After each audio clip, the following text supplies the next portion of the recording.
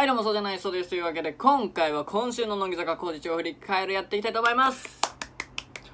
はい、この今週の乃木坂工事を振り返るどういう動画かっていうと、まあ、この動画内で僕が、えー今週の乃木坂工事を見て振り返っていこうという、まあ、ただそれだけの、まあ、見るだけみたいな、振り返るというか見るだけみたいなね、えー感じの動画なんですけど、えーまあ、結構長くはなっちゃうんですけど、やっぱりね、乃木坂工事中30分ぐらいあるんで、えー長くなっちゃうんですけど、まあ、ちょっとでもね、えー見てもらったりとか、あの、一緒にね、乃木坂工事を見た、見ながらこの動画も見つつみたいな感じとか、えーやってもらえたらいいなと思います。ということで、今回もやっていきましょう。今週の乃木坂工事中スタートです。あの、ちょっと暑いので飲み物を飲ませてください。すいません。でんでんでん。いや、今週もおもろかったっすね、やっぱね。教えて先輩今更聞けない乃木坂のルールまあ、前先週の続きみたいな、えー感じで、えー結成から9年が経過しかし3、4期生たち新メンバーはグループ内の伝統など知らないままになっていることがと今一度確かめようということで。今回も後輩たちが知っておくべき基本ルールをおさらいしてグループ全体の底上げにつなげてもらいつなげていきましょうと。今回は4期生柴田の今更まずは今週一番手柴田ゆなちゃんでございます。お弁当ということで。お弁当取る時にすごい悩むっていうね、まあ、確かに悩むよな。お魚とお肉ね 先輩に残すお弁当は肉か魚かという問題。うそっか。だからお肉のが人気なのかな？うですね。なんか結構4てかさ期生が後にゆなちゃんゆんちゃん？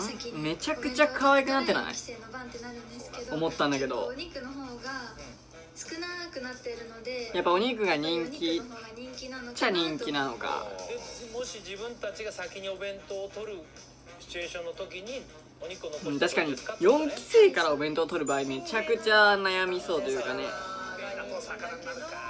金兵衛。以外は基本いやでも人それぞれ。半々ぐらい。これ難しい問題。本当に平等に残してもらえるとすごい。いや言ってるよキャプテン。真夏さん。いやでも私は実はえ今回先先週もすごかったけどさ今週もマジすごかったねもうすごい。じゃあ個人楽屋に行けよ。個人楽屋だよね。一人の楽屋に行けよ。ものすごい要求。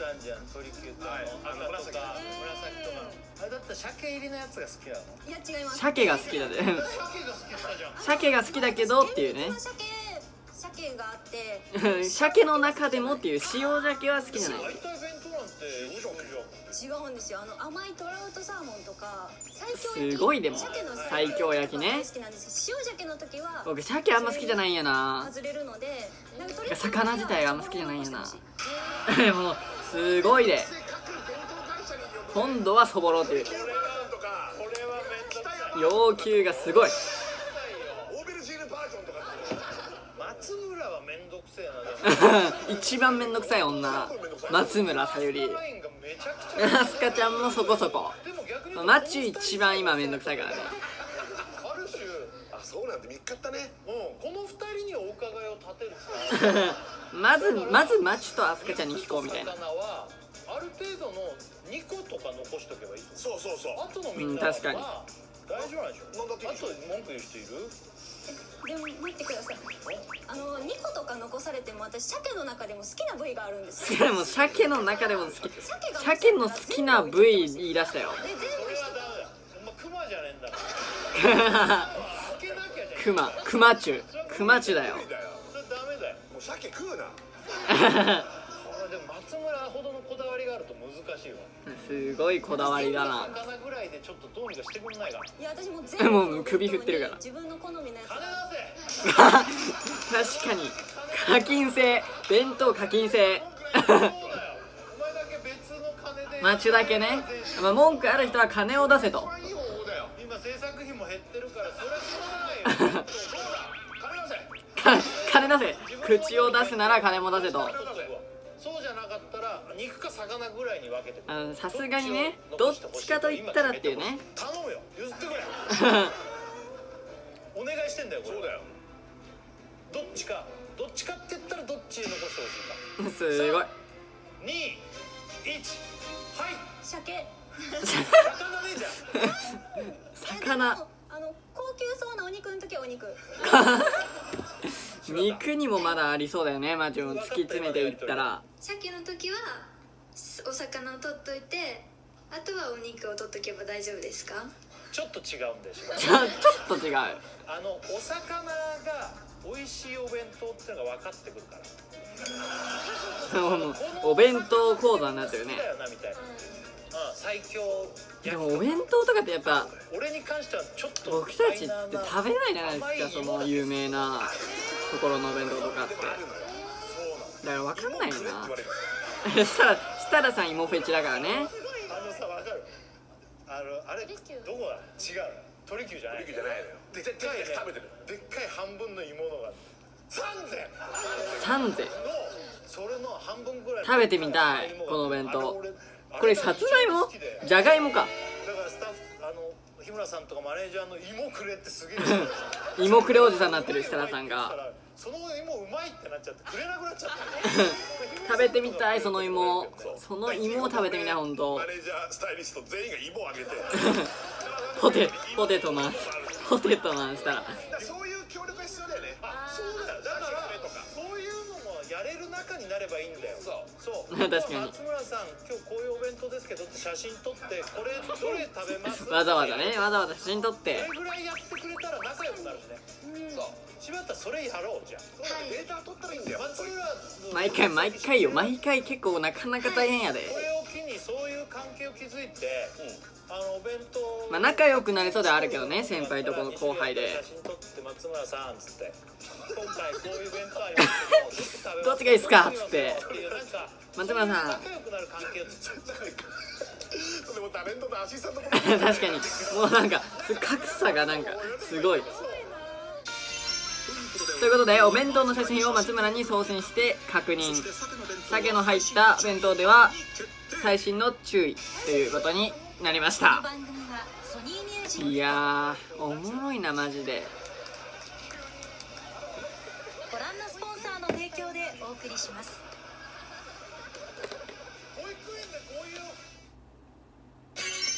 さあ続いてヨダちゃん。ヨダちゃんの今更聞けないルールと。あだ名あだ名。確かに。基本的に先輩のことはさん付けなんですけど。先輩のことは基本的にさん付け。先輩が「まるって呼んで」先輩からね「まるって呼んで」って言われたと。でその時はなんか距離が縮まったのかなってすごい嬉しくて確かにね。呼ぶんですけど。うわいいわいいのってね。いややったってねその時は本当に呼んでいいのかなってもう一回考え直しちゃって。後日ねあれあの時限りだったのかなとか思って先輩はあだ名で呼んでもいいとリセットしちゃうっていう。その時は呼んだけどみたいな。時間経ったらまた3になっちゃうみたいな。高山さんとかおう高山なんて呼んでカズミンマチュ高山さんって呼んでねって言われてクソコアクソコア先輩。クソコア先輩でだから高山さんって呼べなっていうね。うん怖い。なんて呼べ高山さんがズーちゃん。ズーちゃんねズーちゃん。んマチュがさゆりんごさん。あズーズーちゃん。あズーちゃんって呼んでって言われたずーちゃんって。あズーちゃんって。なんか呼ぼうかなって思ったんですけどズか高山ズさん高山さんズーズー。の壁あるわかるわこれは呼べ呼べないよなズーさんでいいんじゃない間取ってズーあずーさん。ズーさん。さん。からでうん。最初ズーさん。挟もうか一旦ズーさん挟んでからのズーちゃんね確かにこっちの方がいいかもしれない。ちゃんっていきなりじゃない。そうちゃんが嫌なんでしょ。うんうん。呼びたい気持ちと本当にいいのかなっていう。確かにね確かに後輩からするとねそこ悩むよね。僕分かったような口で言ってるけどね。全然分かってないんだけど。呼びづらいよな。長いね。ニックネームで。サイリンゴ長いね。リンゴ姉さんとかだったら。りりんご姉さんだけど大先輩がね。まあねリンゴさんいるけど、うん。いや呼びづらいよその長さだと後輩からしたらね。あの北野とかリンゴさんって呼んでひーちゃんりんごさんって呼んでるらしい。ああでも本人が呼んでいいって言ったんだったら呼んでいいんだよ確かにね本人が言ってる分にはね全然もう明日から呼んでいい。えもうなんならもう今からでしょヨダちゃん以外のみんなはカースミン可愛いねこれ。ズーズーちゃんって呼んでほしいのおおズーさん以上って何？そうズーズーさんじゃあズーさん以上ズーズーさん。まあズーちゃんとかズーとかって呼んでほしいんですけど本当は。ズーっていいよな。うん、でも高山さんがやっぱり結構まあ自分的には距離を感じるのでそれ崩すまあとしたら、ね。そうだな。でもあだ名の強要っていうのもあるからね。そうですよね。これも確かに確かに。逆にね逆にあだ名きつい人ね。方ができないっていう人がいるんだもん、うん。ちょっと余談さんじゃないとちょっとしっくりこないなみたいな。ついさんクソ皮だよ食べれちゃうもんね。これはもう。食べれると思ってるでしょ今カズミ。って思ってで仲良くなってって本当にズーって呼びたくなるお互いが OK みたいな時はズーでいいと思うけどズーちゃんになってもいいし。ズーちゃん。ちゃん。ズーでもいいしちゃんズー。ちゃんズー。じゃあその時は合図していただけたら、えー、もうか私から急に呼び出すっていうのまがた合図つくんだ先週もねあったから合図。もう乃木坂合図多いなってなる。合図多い系グループ。もう今日ここからはズーさん決めたらその方がいいと思う。高山さん混ぜるとまたね言いづらくなる、うん確かに確かにこれを機にズーさんズーさんって言われたらいいよって言ってたって言ったって言えないだろ言うの言いづらい？遠藤ズーさん。正直に言ズーさんってほしい。呼べないだろ急にうん急にだとちょっと戸惑いが、え嫌だ嫌だったら全然い。いけど嫌だったらね。絶対ズーさんぜにしてほしい。絶対ズーさんいやいいんだったら。困るな。困絶対ズーさん。困るよ絶対ズズーーハラ。ズーハラ出てます。あーそっか。で特別高山さんマナハラもあるしね。ズーハラも出てきた今回。本当に嫌だ高山なんか本当に嫌だって高山教師高山なんか。高山やだよっつって。わけでもないから同い年ぐらいのメンバーの子とかは先輩後輩関係なくみなみちゃんって呼ばれてたりとか、あそうなの？僕はだから何人かだけみなみ何人かだけちゃんって呼んでくれみなみちゃんるんですけどもうみなみちゃんのテロップ可愛いのよ。みなみちゃんとみなみさんなんですけどでも梅ちゃんとかがいたりするから4期生の子確かに梅ちゃんもみなみみなみみみなみみなみだからねでもやっぱ名字よりはみんな下の名前しいと思います。他はいんの？あだ名って呼ばれてる人とか呼んでほしいとか。私ずっとあの言っててマナッタンって呼んでほしいって言ってたんですけど、ああーみたいなちょっと嫌そうなあ感ナッタンはハードルマナッタンはもうやばいよね。もうマナッタンは一番ハードル高い。距離近いじゃん呼びたくねえしみたいな人もいや拒否ったん。拒否ったんよ。そっか。マナッタンは相当な近さじゃないと言えないよ。あとだあとは？なんか私ナチュラルに梅沢さん。これクソ面白かったな。ナチュラルクソおもろいわ。ナチュラルかっこいいね。なナチュラルって。おいナチュラル。ナチュラルじゃないなあだ名。ナチュラルじゃないあだ名ナチュラルね。ナチュラルじゃないあだ名がナチュラル。お姉さん。姉さんいいよねマイチューンのこと姉さんって呼ぶの。あの新内さんからこう話しかけてくださることが多かったんでいいかなと思って。姉さん感すごいもんね。姉さん感すごいって言うとあれだけど。確かに言いやすいし磯野家出てきてるな社長とかねなんかそんな感じでしょ姉さんってそれ嫌がらせる感じがいいんだよね姉さんだもんねマナッタンはちょっときついマナッタンって姉さんって全然違うからねカズミンがズーさん。マナッタンだけどマナッタンマナッタン。さん。マナッタンさんクソ長いじゃないか。マナッタンさん。星野はみなみちゃん。星野って言っちゃった。みなみちゃん。はみなみちゃん。私はアスカさんがいいアスカさんはアスカさんです。アスカさんね。え松村が私リンゴさん。リンゴさん。マチュがリンゴさん。でえっ、とナチュラル。ナチュマイチュはナチュラルです。な ナチュラルになります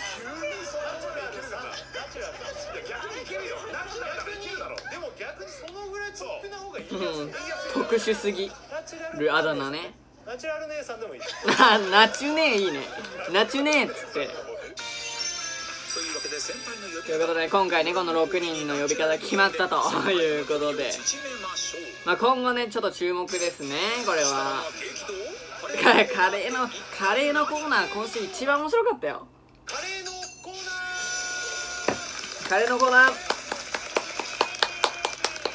カレーのコーナーなんてありましたと突然のね。何ですか突然のカレーのコーナー。2000に行われたリベンジゲーム大会で奥井リベンジゲーム大会あったね。もう最近めちゃめちゃ最近だけどねカレー食べさせて。るこんなこと言ってたっけ？全然覚えてなかった。カレー食べさせたい全勝できなかったら。食べ食べさせたいけどバナナマンさんが一番食べたいカレーを乃木坂46メンバーに自腹でご馳走ということで。いたメンバーやってきたとカレーのコーナー。ちょっと2人ぐらい今日いないのかな？生田とそのゲームに参加したメンバーということで。あとあれ？セミヤはいセミヤゲームの時いたっけ？戦ったじゃないですか。かわい。いあの戦ったんだけどオンエア的にはカットされちゃってたんだよ。だからお前ここにいないといけないかわいそう。オンエアされなかったけど。オンエアできませんでした。マリオカート対決ね実はセイミヤもマリオカートで対決していたのでご褒美のカレーをいただきます。ということでもう皆さんの前にですね2つあるねカレーのてか箱っていうかスタあの僕がおすすめ。もう本当笑っちゃうぐらい普段行くところのカレーなんですー常連設楽さんガチでね。ガチで行ってるところ。カレー2つあります、うんそうなんですまずじゃあピンク色の方をオープンしてください。ピンク色。オープン。オープン。いやめちゃめちゃうまそう。これめちゃめちゃうまそう。こういう何本格的なカレーマジでうまそう。いつも本当に頼んでるやつを今日タンドリーランチってやつよくタンドリーランチ。バターチキンカレーとバターチキンカレー。タンドリーチキン。シークケバケバブタンドリーチキン。で。マンゴーラッシー。ラッシーっていうのは初めて聞いてさ今回。なんかちょっとドロドロしたやつらしいですねああまずねタンドリーチキンね。うまそう。タンドリーチキン カレーじゃなくてね。まずチキンいくっていう。なナチュラルここで出てきたからナチュラルにしていっちゃ美味しいナチュラルがナチュラルに失敗したわ。あどう？カレー食べてみんなまず。まず。カレーのコーナーですから。うまそうマジで。もうこれ大好きでしょみんな。バターチキン。ナチュとか最高でしょ。ねうまそうなんかすごい甘めですね。甘め甘め。甘めで。う甘め。スパイシーで。スパイシーで。なんか濃厚です。んそうでしょ？なんかもうもはやビーフシチューみたい。いやいそれ一番ダメよ。でカレーの。カレーやから。ビーフシチューと別々。美味しい。え かわいいみなみちゃんは。みなみちゃんはもうねこれだけでいいもんね。結局バターチキンカバタレーだよね。ーチキンカレーいい日よ本人が好きなので筒井とかどう？飛び石美味しいです。もうどこがどのようにどう えなんか酸味があります。あそうね。酸味がある。ちょっとね。うーん。カレーのコーナーってこういうことなのね。本当にいいよもうメンバーがさカレー食べてるだけでもう幸せだもん見てるのが。それは聞くぞみんな。食わしてんだ食わしてんだから感想ぐらい聞くよね。ねなんかもっと俺ガンカレーのコーナーならぬ食リポのコーナーね食リポ講座になってるから。カレーって今まで辛くてちょっと辛くて。苦手なイメージだったんですけどカレーね。この甘いカレーを食べてカレー大好きになりました。今ここの段階でカレー大好きになった。らこれ食べて。あのカレーそんなそんなそんなことでカレーで全員好きじゃんカレーって世界中の。世界中は嘘。今までどんだけね違うんだあよカレーうん特殊なカレー食べてきたんだっていう。飯あんま連れてかねえ うまいっすねとかが欲しいわけよ。うまいっすねいいよ。ベンちゃん。デザート。ね。カレー褒めヨーグルトね。交互に食べるのがすごい。デザート最後に食うんだよ。まあまあ食べ方はね人それぞれだかうまいか？はいももちゃん可愛いな。起きてんだから。どうよ？これカレーなんだなって思いました。カレーカレーなんなんだよそれは。なんね。何をつけて食うカレーだから。カレーなんだなっていうか これおもろいな。なんだこのくだり。もうなんかなんかもうなんなんなんだよということで、えー、続いて日村さんのおすすめ。いいね続いて日村さん。そうですか？そこそこしかも腹いっぱいになってるじゃないで。すかね腹いっぱいになってる。オープンしてくださいどうぞ。じゃじゃん。いやこれはもう私タラさんとはもう全然違うねこのなんていうかねすごい美味しそうこれも。お蕎麦屋さんのカレーお蕎麦屋さんのカレーだってこれこれ食べたい。森山直太朗君がとある番組で木村拓哉さんに紹介してたんだけどそれがすごい。うわーうまそうで俺いつか食べたいいつか食べたいと思ってて実はまだ俺一回も まさかのね。まさかの日村さん食べたことはないまだ。美味しそうだから今回乃木坂ちゃんに食べさせてあげようみたいな。食べ食べてもらいたいなみたいな。おすすめだよっていう。匂いが普通のカレーライスと違いますよ。そうなの匂いが違うらしい。和風ちゃんとなんかもうだしの匂いがだしの匂いがするらしい。ちょっとちょっともらえる一人ずつ。一人ずつ。食リポ老舗のお蕎麦屋さんっぽくてよいいんだよね。うまそう。本当にうまそう。いい顔するねしんいちね本当にお出汁がすごい効いててなんだろう。普通のカレーじゃないですね。でもなんか見た目はさ割とザカうレーまって感じだけど、ね、そうだな。確かに見た目は普通のカレーっぽいけど。お出汁お出汁が効いてます。だしが効いてるってことね。だしどう松村これ？めっちゃ美味しい。めっちゃすごいマザートらしいなマジ。マザートらしいけど。カレーじゃない。カレーじゃない。カレーではある。なんだカレー食わしてんのにさっきから。カレーカレーではあると確かにマッチョビーフシチュー行ったりカレーじゃない。って言ったりね。カレーじゃないならそれ何？あんかけ？ビーフシチューとあんかけ食べてるねマッチは。カレーやねんけどでもカレーじゃなくてあんかけじゃねんけどあんかけじゃないみたいこれちょっと教えてよ玉ねぎの甘みとこの上に乗ってる何ですかねこの。ナンは違う。ナンは俺もう なんがさ何度上の空耳か面白すぎ。あんあルルーだ。ルーでしょああんはもうあん。あんかけてないからだあんかけやあんにみんな引っ張られてるけど。ルーがすごいあのとろみが出ててあのカレーうどんのこうあれみたいな。あーカレーうどんのね。典蕎麦屋さんのカレーか。そうですね。カレーうどんのカレーをご飯にかけてるみカたいなレー丼頼むってねなんか常連じゃないってさ。あーなるほどね。確かに蕎麦屋でカレー頼まんもんね普通。だからだねあのそういうことなの？これ星野これ。もう食べればわかります。食べてないんだよだから分かんないね。かわいいなみなみちゃんは。食べればはい はいって感じ食べますっていうね。本当にもう美味しすぎて言葉が出ないで。美味しいよ星野これ。美味しいです。美味しいなんか懐かしい味がします。懐かしい。懐かしい味。そうです。ん？違う。保育園で出てたような 味が。保育園。すごい保育園だな。保育園でこういう本格的な小屋のカレーす。ごい保育園だぞ。ご飯と合います一度ハマったら抜け出せないカレー地獄。うわーおもろいな。すごい食べてるね山下ね。美味しいですガンガンじゃん。なんかえ和食っぽい感じです？和食。インインドって感じじゃなくて。俺のだよインド。は インドではない明らかインドっにぽくない味がします。当たり前だろインドカレーじゃねえんだよ。なんだあいつらバカなんじゃない ちょっと駆け足どうなの駆け足どうなのよ駆け足普通のカレーよりもううまみがああああうまみね。うまみやっぱ来るか。はい。ちょっとか程よい辛さ？んおい辛いの？ちょい辛いんだ。おいこれ初めて聞いた。味の感じが伝わってくる。今のすごいいね。いいいコメントきた。何人目っていう。でもむずいよなでも食リポって。カレーうどんのルーをかけた感じです。確かにねさっき。さっき言ってたね。違う感想。ミオナかな？